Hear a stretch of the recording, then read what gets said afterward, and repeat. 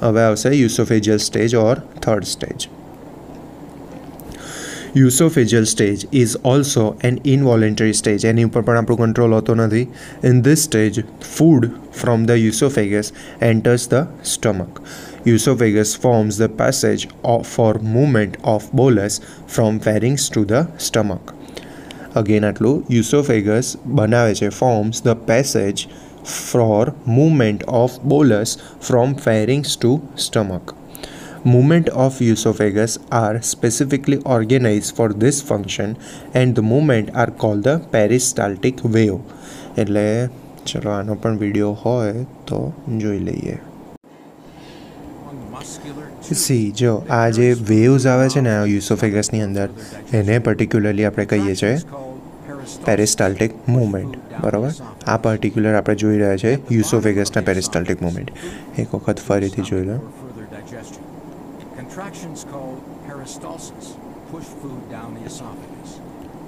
Okay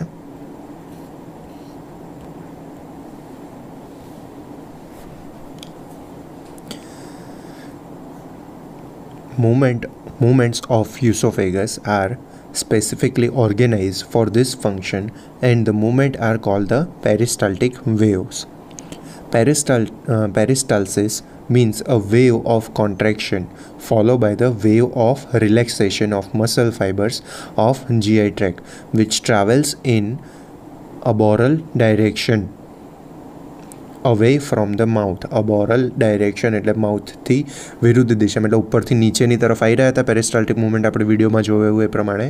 એટલે માઉથથી દૂર જઈ રહ્યા છે. એટલા માટે એવું કીધું કે aboral direction away from the mouth by this type of movement the content are propel down along the GI track એના લીધે ફૂડ જે રહેલું છે, આપણે બોલસ જે છે, એ નીચેની સાઈડ જીઆઈ ટ્રેકમાં ટ્રાવેલ કરે છે when bolus reaches the oesophagus the peristaltic wave are initiated you, bolus reaches the esophagus the peristaltic waves are initiated usually two type of peristaltic contraction are produced in the esophagus first primary peristaltic contraction and a secondary peristaltic contraction હવે એમાં પ્રાઇમરીમાં શું છે primary peristaltic contraction.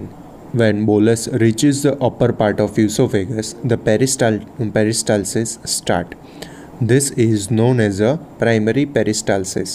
એટલે શું કે when the bolus reaches the upper part of oesophagus જેવું યુસોફેગસના અપર પાર્ટમાં જાય ત્યારે પેરિસ્ટાલ્ટિક સ્ટાસ થઈ જાય છે કે જેને કહેવાય છે primary peristalsis After origin, the peristaltic contraction passes down through the rest of the esophagus. હવે જે ઉપર સ્ટાર્ટ થયું હતું એ એનું એ કોન્ટ્રેક્શન ધીરે ધીરે આખો એ વેવ નીચેની સાઈડ યુસોફેગસમાં નીચેની સાઈડ જતો જશે આફ્ટર ઓરિજિન એક વખત સ્ટાર્ટ થયા પછી The peristaltic contraction passes down through the rest of the esophagus, propelling the bolus towards the stomach. લઈ જાય છે બોલસને સ્ટમક બાજુ Pressure developed during the primary peristaltic contraction is important to propel the bolus. શરૂઆતમાં જે pressure create થાય એ જરૂરી છે નીચે લઈ જવા માટે પ્રોપેલ બોલેસને નીચે લઈ જવા માટે Initially, the pressure becomes negative in the upper part of esophagus. This is due to the stretching of closed oesophagus by the elevation of larynx larynx જેમ ઉપર ખેંચાતું હતું, એના લીધે યુસોફેગસ જે ઓલરેડી ક્લોઝ હતું, એ હવે ઓપન થશે. એટલે એવી કન્ડિશનની અંદર ત્યાં આગળ નેગેટિવ પ્રેશર ક્રિએટ થાય છે. પણ immediately the pressure becomes positive and increase up to ten to fifteen centimetre of H two O pressure આપણે ઓફ એચ ટુમાં ઓફ અથવા તો એમએમ ઓફ એચજીમાં માપતા હોઈએ છીએ. બરાબર? સો અહીંયા આગળ પાણીના સાપેક્ષમાં માપીએ છીએ તો ten to fifteen centimetre of H two O so આટલો પેરેગ્રાફ ફરી વખત જોઈએ છે pressure develop during the primary peristaltic contraction is important to propel the bolus. Initially, the pressure become negative in the upper part of esophagus. This is due to the stretching of close oesophagus close હતું, પહેલાં એને ખેંચ્યું, એટલે open કર્યું, તો એવા કન્ડિશનમાં negative pressure create થશે અને પછી તરત જ પોઝિટિવ પ્રેશરમાં કન્વર્ટ થઈ જાય છે. But but the pressure pressure become positive and increase up to 10 to 15 centimeter of H2O એક વખત આ નેગેટિવ પોઝિટિવ પ્રેશર શું છે એ સમજાવવાનો ટ્રાય કરું. સી આ આપણે યુસોફેગસ માની લો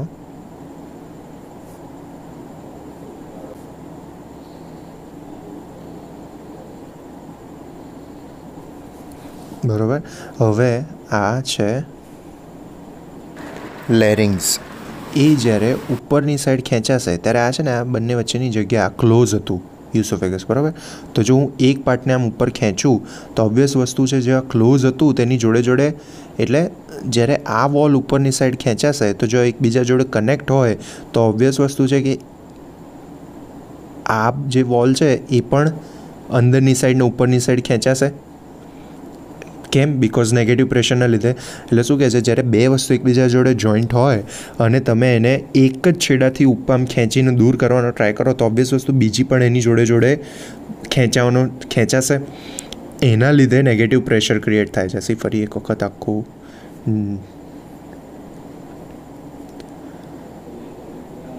અહીંયા એકદમ નેરો સ્પેસ છે. વચ્ચે મ્યુકસ પણ રહેલું છે. તો જ્યારે એકબીજા જોડે એકદમ કનેક્ટેડ છે એ ચોંટેલા છે, બરાબર? હવે ઉપરનું એપિગ્લોટિસ આમ ખાલી આ જે વોલ છે ને આખી, આ વોલ આખી, એને હું ઉપરથી આમ ખેંચું છું, ઉપરની સાઈડ આ બાજુ. તો એનાથી શું થશે કે આ બધું જ પ્રેશર અહીંયા પણ લાગશે? ખેંચાશે આખું, તો એ પોતાની સાઈડ આ જે પાછળની જે વોલ છે, એને પણ પોતે ઉપર ખેંચવાનો ટ્રાય કરશે. તો એવી કન્ડિશનમાં નેગેટિવ પ્રેશર લાગતું હોય છે. પણ એક વખત જ્યારે ઓપન થઈ જાય, એ પછી એ નેગેટિવ પ્રેશર જતું રહે છે. સી વચ્ચે જગ્યા મોટી થઈ જાય, એ પછી એની અંદર નેગેટિવ પ્રેશર રહેતું નથી. એ પછી તરત જ કન્વર્ટ થઈ જાય છે શેમાં? પોઝિટિવ પ્રેશરની અંદર. અને જે કેટલું હોય છે? દસથી પંદર centimetre of H two O okay આ વસ્તુમાં ખબર ના પડે તો ફરી વખત રિપીટ કરીને મીન્સ વિડીયો બેકવર્ડ કરીને જોજો પણ પ્રેશરનું એક વખત માઇન્ડમાં ક્લિયર કરી દેજો શું શું કહે છે the pressure during the primary peristaltic contraction is important to propel the bolus. Initially, the pressure become negative in the upper part of esophagus. This is due to the stretching of the closed esophagus by elevation of larynx. But immediately, immediately the pressure becomes positive and increased up to 10 to 15 centimeter. Mm, wait.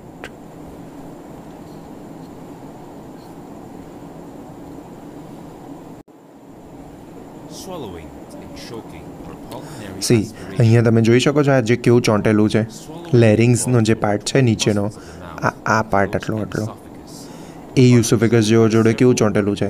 તો એ જ્યારે ખેંચાઈને ઉપરની side આવશે લેરિંગ્સનો part એ વખતે જોડે જોડે યુસોફેગસને પણ બીજી જે પાછળ પોસ્ટિડર વોલ છે એને પણ પોતાની સાઈડ ખેંચવાનો ટ્રાય કરે. બરાબર? કેમ? કારણ કે કોઈ બી બે વસ્તુ જોડેલી હોય ને એને છૂટી પાડો તો એ વખતે વચ્ચે નેગેટિવ પ્રેશર ક્રિએટ થતું હોય. એક વખત છૂટી પડી જાય, પછી એ બંને વચ્ચેનું પ્રેશર પોઝિટિવ થઈ જાય છે. ઓકે યસ તો આ હતું ફર્સ્ટ પ્રાઇમરી પેરિસ્ટાલ્ટિક કોન્ટ્રેક્શન પછી એના પછી આવશે secondary peristaltic contraction if the primary peristaltic contraction are unable to propel the bolus into stomach the secondary peristaltic contraction appear and pushes the bolus into the stomach જો પહેલું successful ના થાય તો પછી એના પછી સેકન્ડરી પેરિસ્ટાલ્ટિક કોન્ટ્રેક્શન આવતું હોય છે secondary peristaltic contraction are induced by the digestion of અરે sorry distension of upper oesophagus by bolus. Secondary peristaltic contraction are induced by, કોના દ્વારા ઇન્ડ્યુસ થાય છે? તો distension of upper oesophagus by the bolus જ્યારે યુસોફેગસ ડિસ્ટેન્ડ થાય છે, પહોળું થાય છે બોલસના લીધે. after origin this contraction pass down like a primary constrict- contraction producing a positive pressure એટલે શું કહે છે secondary peristaltic contraction are induced by the distension of upper esophagus by the bolus.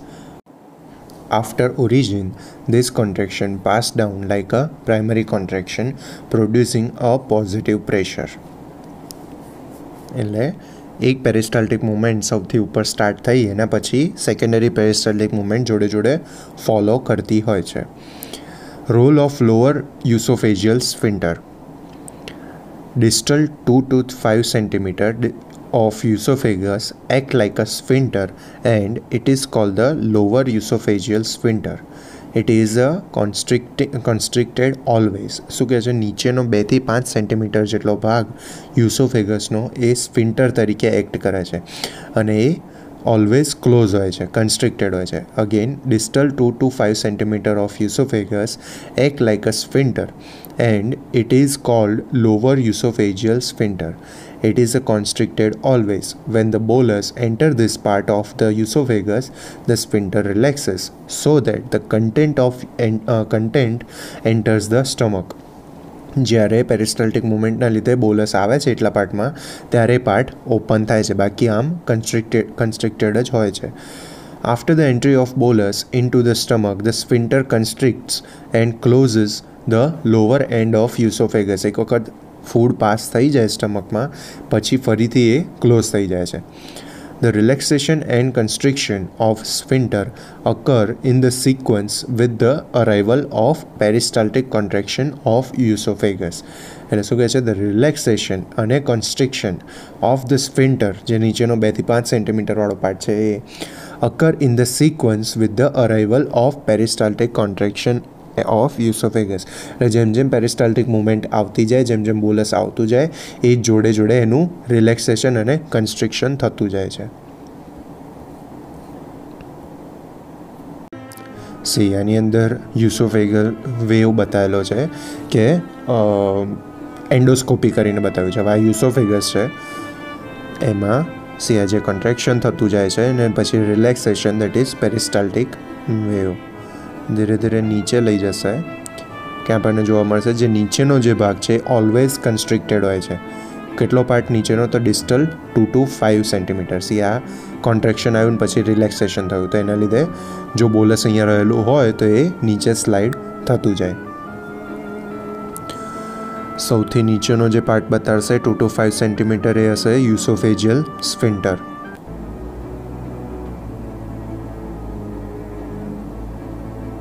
અને એન્ડોસ્કોપિક પ્રોસેસ કહેવાય okay yes જો નીચેનો જે part છે એ એકદમ કન્સ્ટ્રિક્ટેડ છે બરાબર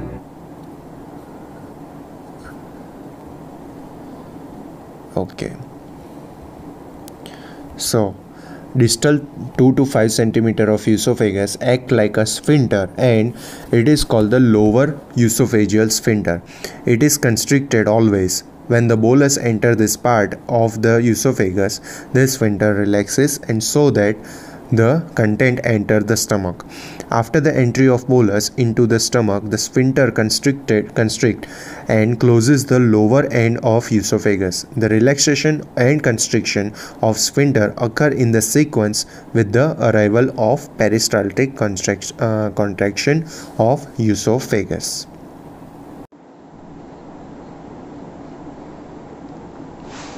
so next is a deglutition reflex wait આપણે પહેલાં ફિગર જોઈ લઈએ. તો સ્ટેજીસ ઓફ ડિગ્લુટિનેશન પહેલો છે, A figure that is preparatory stage કે જેમાં બોલસ તૈયાર થાય છે પ્રિપેર થાય છે.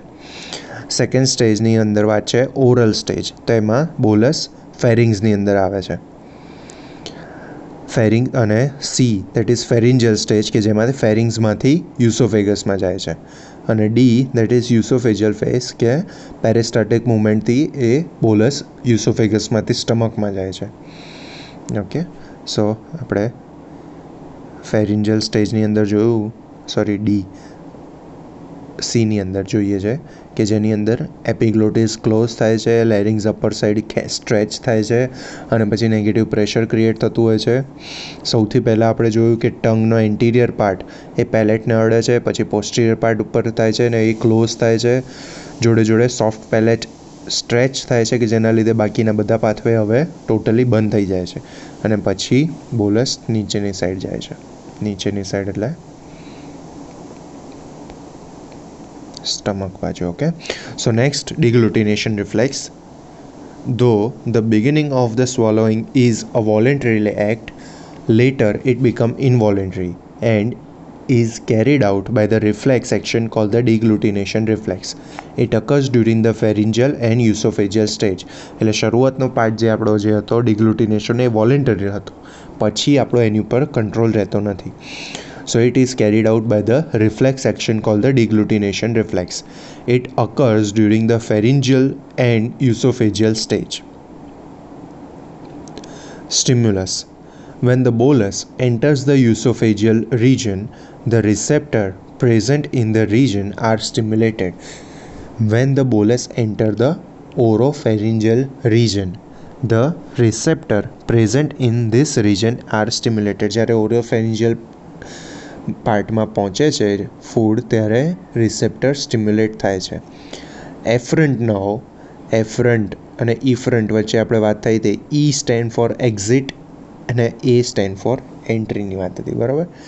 ખાલી ઈ ઉપરનું યાદ રાખવાનું E stand for exit exit એટલે બ્રેઇનમાંથી એક્ઝિટ થતી નોઝની વાત છે. એફરન્ટ એ લઈ જતી સ્ટિમ્યુલસ લઈ જતી અને ઇફરન્ટ એ લાવતી. સ્ટિમ્યુલસને લાવતી હોય એ એની વાત છે એફરન્ટનો યસ તો અહીંયા વાત છે afferent fibres afferent impulses from the યુસોફે ઓરે sorry oropharyngeal receptor passes via the glossopharyngeal nerve fiber to the deglutination center. Deglutination center is at the floor of the fourth ventricle in the medulla oblongata of brain. એના પછી શું છે કે efferent fibers impulses from the deglutination centers travels through the glossopharyngeal uh, and vagus nerve and reaches the soft palate pha- pharynx and esophagus the glossopharyngeal nerve is concerned with the pharyngeal stage of swallowing the va- vagus nerve is concerned with the esophageal stage તો જો હવે એફરન્ટ ઇમ્પલ્સની અહીંયા વાત કરે છે તો ઓરોફેરિન્જિયલ receptor ત્યાં આગળથી નવ પાસ થઈને ડિગ્લુટિનેશન સેન્ટરમાં જતી હોય છે. બરાબર? તો એનો સી હમણાં વિડીયોમાં.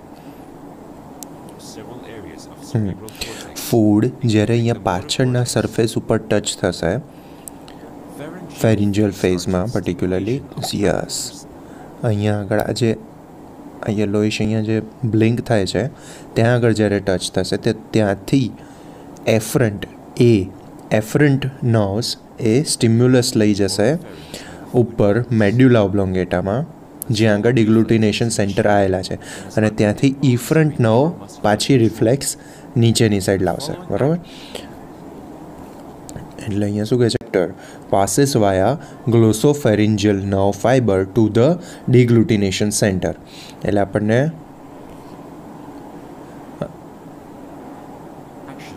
યસ આજે બતાડ્યું. એક્ઝેક્ટ એ પ્રમાણે ડિગ્લુટિનેશન સેન્ટર ઉપર જાય છે ને પછી ત્યાંથી ઇમ્પલ્સિસ રિટર્ન આવે છે efferent impulses from the oropharyngeal receptor passes via the glossopharyngeal nerve fiber to the deglutination center હવે deglutination center ક્યાં આવ્યા તો at the floor of the fourth ventricle in the medulla oblongata of the brain બ્રેનની અંદર medulla ઓબ્લોંગેટાના yes see આ brain એક minute see નીચેનો part this is medulla oblongata હવે બ્રેઇનના નીચેના પાર્ટને મેડ્યુલ ઓબ્લોંગેટા કહે છે. તો એમાં, જો અહીંયા આગળ મેડ્યુલા ઓબ્લોંગેટા અહીંયા બતાવેલું છે, એના ફ્લોર ઉપર જે વચ્ચેની આ સ્પેસ દેખાય છે દેટ ઇઝ ફોર્થ વેન્ટ્રિકલ ત્યાં આગળ આવેલા હોય છે ડિગ્લુટિનેશનના centres. Deglutition centre is at the floor of the fourth ventricle in medulla oblongata of the brain. બરાબર? ત્યાં આગળ સ્ટિમ્યુલસ જશે. ત્યાંથી સ્ટિમ્યુલસ રિટર્ન આવશે. તો એ કયા દ્વારા આવશે? તો ઇફરન્ટ ફાઇબર્સ દ્વારા આવશે. So impulses from the deglutition centre કે જે મેડ્યુલો ઓબ્લોંગેટામાં ફોર્થ વેન્ટ્રિકલમાં હતા એ. Impulses from the deglutition centre travel through the glossopharyngeal and vagus nerve કઈ બે નવ દ્વારા ત્યાંથી ઇમ્પલ્સ લઈને આવશે? તો ગ્લોસોફેરિન્જિયલ અને વેગસ નવ દ્વારા. And reaches the soft palate ત્યાંથી ક્યાં આગળ જાય છે? સોફ્ટ પેલેટમાં ફેરિંગ્સમાં અને યુસોફેગસમાં. ત્રણ જગ્યાએ એના સ્ટિમ્યુલસ જાય છે. સોફ્ટ પેલેટ, ફેરિંગ્સ અને oesophagus. The glossopharyngeal nerve is concern with the pharyngeal stage of swallowing હવે, આ બંને સ્ટેજમાં યુસોફેજિયલ સ્ટેજ અને ફેરિન્જિયલ સ્ટેજ, બંને સ્ટેજમાં રિફ્લેક્સીસ આવે છે. તો જે ગ્લોસોફેરિન્જિયલ નવ છે, એ કયા સ્ટેજમાં એ એક્ટિવેટ થાય છે? તો ફેરિન્જિયલ સ્ટેજ વખતે એને કન્સર્ન એટલે એને લાગતે વળગતું હોય એવું. કન્સર્ન એટલે ગ્લોસોફેરિન્જિયલ નવ કોને વળગે છે, લાગતું વળગતું છે, તો એ પર્ટિક્યુલર ફેરિન્જિયલ સ્ટેજમાં એનો ઇમ્પોર્ટન્ટ છે. અને વેગસ નવનું ઇમ્પોર્ટન્ટ યુસોફેજિયલ સ્ટેજની અંદર છે. So again the glossopharyngeal nerve is concern with the pharyngeal stage of swallowing and the vagus nerve is concern with the oesophageal stage હવે આ એટલે મને એનો મતલબ કે ફેરિન્જિયલ સ્ટેજ વખતે ઇમ્પલ્સિસ કોણ લઈને આવશે? તો ગ્લેસ ગ્લોસોફેરિન્જલ નવ લઈને આવશે. અને યુસોફેજિયલ સ્ટેજ વખતે વેગસ નવ સ્ટિમ્યુલસ લઈને આવશે. ક્યાંથી? ડિગ્લુટિનેશન સેન્ટરમાંથી ક્યાં આગળ લઈને આવશે? તો એ સેન્ટરમાંથી ક્યાં ક્યાં જાય છે? સોફ્ટ પેલેટમાં ફેરિંગ્સમાં અને યુસોફેગસમાં હવે એ લઈને આવે છે તો એના રિસ્પોન્સ સ્વરૂપે શું થાય છે? The reflex causes the upward movement of soft palate to the to closes the nasopharynx and upward movement of larynx એક વસ્તુ તો આપણે જોઈ હતી કે જે ભાઈ સોફ્ટ પેલેટ ઉપરની સાઈડ ખેંચાય તો એનાથી નેઝોફેરિંગ્સ એ બંધ થઈ જતું હતું. આપણે પેલો વિડીયોમાં જોયું હતું ને અહીંયા, કે આ સોફ્ટ પેલેટ છે અત્યારે એ જ છે. સોફ્ટ પેલેટ જ્યારે ખેંચાય છે તો એ બ્લોક કરી દે છે ઉપરના. આ જે નેઝોફેરિંગ્સનો ભાગ છે એને બ્લોક કરી દે છે. અને જોડે જોડે લેરિંગ્સને ઉપરની સાઈડ ખેંચે છે. And upward movement of larynx સેના માટે to close the respiratory passage so that the bolus enter the oesophagus now peristalsis occur in the esophagus pushing pushing the bolus into the stomach okay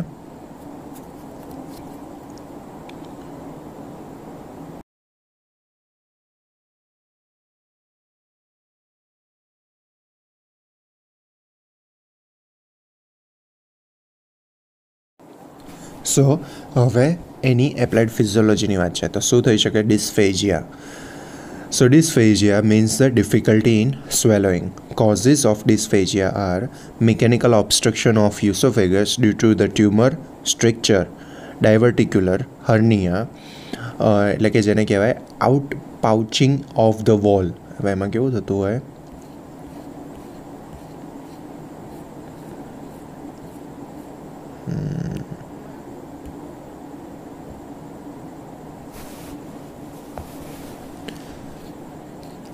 આવું કોઈ પણ structure છે suppose hollow structure તો એમાં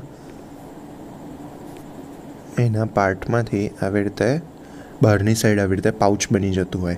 આને particularly ડાયવર્ટિક્યુલમ pouch કહેવાય છે. ડાયવર્ટિક્યુલર હર્નિયા થઈ જતું હોય તો પણ આવું થઈ શકે, બરાબર? સો મિકેનિકલ ઓબ્સ્ટ્રક્શનની અંદર જોયું આપણે, તો ટ્યુમર વચ્ચે કોઈ પાર્ટ આવે તે ટ્યુમર કોઈ બી ટ્યુમરનો ગ્રોથ થયેલો છે અધરવાઇઝ આવી રીતે ડાયવર્ટિક્યુલર છે અથવા તો સ્ટ્રિક્ચર સ્ટ્રિક્ચર એટલે શું? કે જ્યારે આવો પાર્ટ એકબીજાની એકદમ આવી રીતે ચોંટી જતો હોય, એને કહેવાય stricture so mechanical obstruction of oesophagus due to tumour stricture diverticular hernia etc. Second, decreased movement of esophagus due to the neurological disorders such as the Parkinsonism. હવે સિમ જે ઇમ્પલ્સિસ આવતા હતા એમાં પ્રોબ્લેમ હોઈ શકે તો પણ આવું થાય. તો પાર્કિન્સનિઝમમાં પણ આવું થવાની શક્યતા છે. Muscular disorder leading to difficulty in swallowing during the oral stage or oesophageal stage muscular disorder એટલે કોઈ પણ મસલ્સ જે આપણે આપણે વાત કરીએ શરૂઆતના ફેઝમાં ઓબ્વિયસલી ટંગની મૂવમેન્ટ અને ચ્યુઇંગ મૂવમેન્ટની બધી જ મૂવમેન્ટ માટે મસલ્સ જવાબદાર છે. તો યુસોફેગસની આસપાસ પણ સર્ક્યુલરમાં મસલ્સ જ ગોઠવાયેલા હતા. તો જો મસલ્સનો કોઈ ડિસઓર્ડર થાય, તો પણ એ સ્વેલોઈંગમાં પ્રોબ્લેમ થઈ શકે.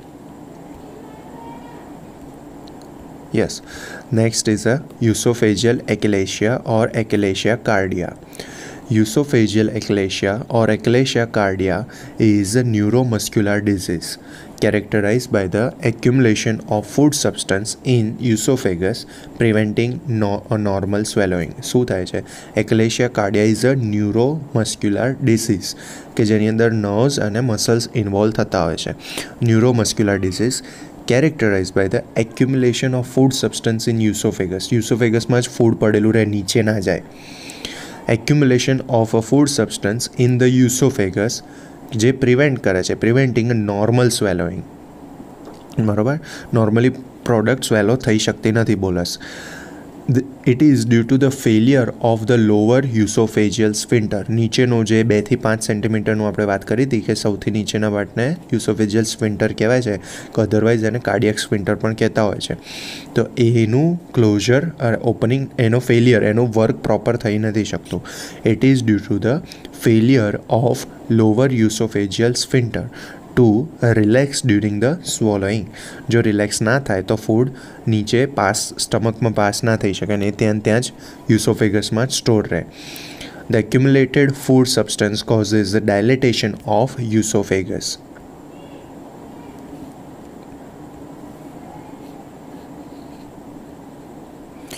અહીંયા જે નીચેનો પાર્ટ છે, અહીંયા જે સ્ફિન્ટર રહેલો છે, એને કહેવાય છે oesophageal sphincter or cardiac sphincter બરાબર હવે ફૂડ ઉપરથી અહીંયા આવ્યું બોલસ. જો આ ઓપન જ ના થાય તો અહીંયા નીચે આવી જ નહીં શકે તો અહીંયા યુસોફેગસમાં બધું ફૂડ ભેગું થતું જશે તો તે ભેગું થતાં થતાં ધીરે ધીરે યુસોફેગસ આવી રીતે ડાયલેટ થઈ જશે. The accumulated food substance causes dilatation of esophagus. Feature of esophageal achalasia are dysphagia, difficulty in swallowing chest pain weight loss અને કફ. વેટ લોસ થવાનું કારણ એવું કે જ્યારે જ્યારે આવી રીતે આવો પ્રોબ્લેમ થતો હોય ને તો પેશન્ટ ફૂડ લે જ નહીં. એને ખબર હોય કે આવી રીતે હું ખાઈશ તો આવું પ્રોબ્લેમ થશે, તો એના લીધે ફૂડ ઓછું લે. એના લીધે વેટ લોસ પણ થાય છે. So next is a G E R D that is a gastroesophageal reflux disease GERD કહેતા હોય છે એને commonly So, GERD is a disorder characterized by the regurgitation of acidic acid gastric content through the esophagus. Gastric content એટલે કે સ્ટમકની અંદર રહેલું જે content છે એ બધું પાછું ઉપર રીગર્જિટેશન એટલે પાછું જવું ઉપરની સાઈડ આવે છે બરાબર ધ એ હમણાં ફિગરમાં હું બતાડું તમને the regurgitated gastric content flow into the pharynx or mouth regurgitation is due to the weakness or incompetence, એટલે કે failure to constrict, of the lower esophageal sphincter. See ઉપર જે વાત કરીને એક્લેજિયા કાર્ડિયા, એમાં એ ડાયલેટ નથી થતું રિલેક્સ નથી થઈ શકતું. બરાબર? એના લીધે ફૂડ નીચે સ્ટમકમાં જતું નથી. સ્ફિન્ટરની વાત છે સ્ફિન્ટર ઓપન નથી થઈ શકતું રિલેક્સ નથી થઈ શકતું. જ્યારે અહીંયા આગળ કેવું છે કે એક એનું ક્લોઝર પ્રોપર નથી રહેતું. તો એના લીધે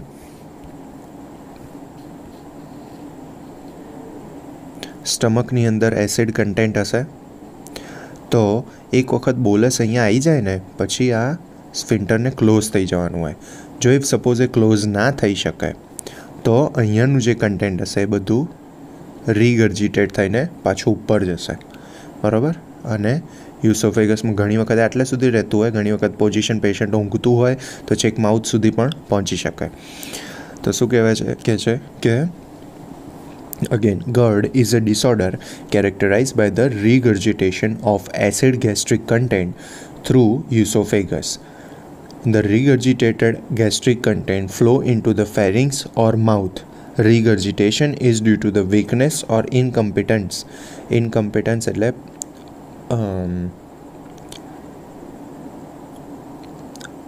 કેપેબલ ના હોવું એમ, અસક્ષમ હોવું incompetence of lower oesophageal sphincter બરાબર? કન્સ્ટ્રિક્ટ નથી થઈ શકતું એટલા માટે.